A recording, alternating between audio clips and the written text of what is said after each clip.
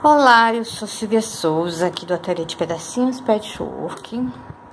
Com essa aulinha para você que me acompanha aí nas redes sociais, no YouTube, no Face, no Instagram, tá? É, eu quero falar de um projeto de aula online que é essa necessaire, olha que eu chamo necessaire de camponesa. Essa é uma aula ensinada em grupo privado no Facebook, ok? Eu fiz essa necessaire toda aproveitando retalhos, tanto de tecido como de manta. E é super legal a maneira que eu ensino como fazer. E o legal dessa necessaire é que eu ensino as alunas como desenvolver a aplicação desde o desenho, tá? Como montar, como riscar o desenho, como montar essa aplicação perfeita. Eu tenho uma técnica que muita gente que já faz aula comigo já aprendeu como que eu faço para ela ficar assim sem sem folga, sem volume, bacana demais. Descobrindo vários materiais, testando, eu descobri um material super bacana de fazer ela perfeita. E para minhas alunas e para você, eu vou ensinar os bordadinhos no YouTube. Você do YouTube vai se beneficiar e se você quiser aprender fazer toda nessa CCC, me procura lá na fanpage de Pedacinhos Patchwork para mais informações sobre como comprar essa aula. Então vamos lá no bordadinho. Quando a gente vai bordar, eu vou usar aqui, ó, essas linhazinhas de crochê, tá? Pode ser qualquer marca que você tiver.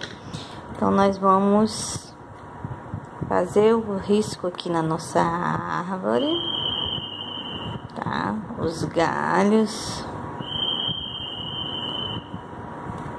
Tá? E vamos fazer um pontinho bem simples, ó. É o ponto atrás, tem gente que chama ponto atrás, tem gente que chama ponto reto. Eu, claro, eu dei um nozinho na minha ponta da minha linha e vou fazendo. Esse ponto, ele não precisa ser muito pequeno, ele pode ser um tamanho médio, ó. Pulei um pouquinho para frente por trás, olha, e volto no mesmo buraquinho. Que eu vim, vim por baixo, ó, dei um pulinho, ó. E volto para trás. Ó, preenchendo esse pulinho que eu dei. Como eu tô trabalhando com uma linha mais grossa, eu prefiro o ponto atrás. Se eu trabalho com a linha de meada, eu faço esse ponto aqui com dois ou três fios de meada no ponto haste, bem pequenininho. Aqui o marrom ele aparece bem nessa folhagem. Ó.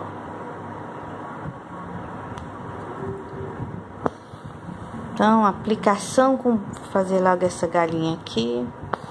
Aplicação para mim com bordado, juntando patchwork, aproveitando o retalho, é uma terapia maravilhosa. Eu curto bastante.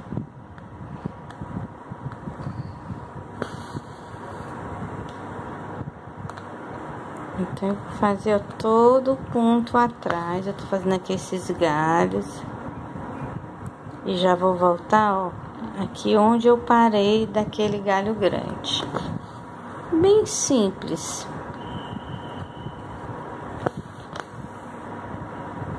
Não quero fazer um vídeo muito longo. Deixa eu fazer aqui. Eu posso estar usando aqui outro tom de marrom, ou mais escuro, ou mais claro. Eu posso aqui, como eu tenho mais de um galho, eu posso estar usando aqui dois ou três tons de marrons diferentes e posso também alternar o ponto. Que o meu tronco precisa ser grossinho, então eu preciso de duas ou três vezes esse ponto. Uhum. Tô chegando aqui no fim.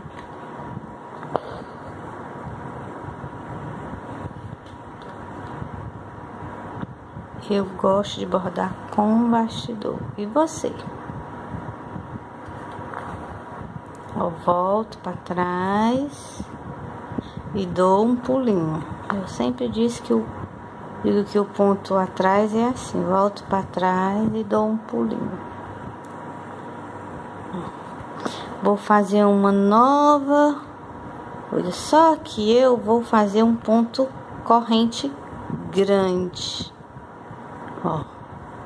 para dar volume no meu tronco, ó. Tô trabalhando com pontos bem largos, bem grandes, ok? Ó. Ponto grande.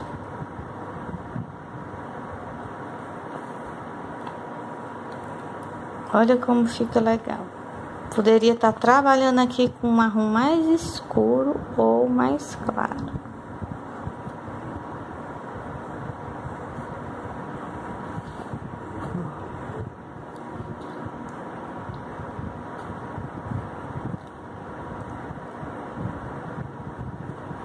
Então, esse aqui é um vídeo para minhas alunas da NCC Camponesa e para você que me segue no meu canal. Se gostou, compartilha nas suas redes sociais.